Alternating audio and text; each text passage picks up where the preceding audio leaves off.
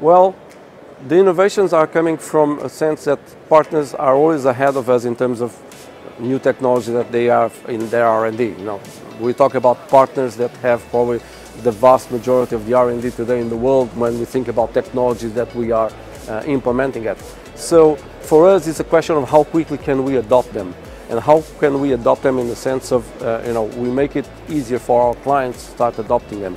So in some ways, we can be seen as a kind of a bridge that goes from the R&D of our partners all the way to make sure that clients can start using and benefiting that kind of a technology towards improving their business. So that's the way we're seeing it.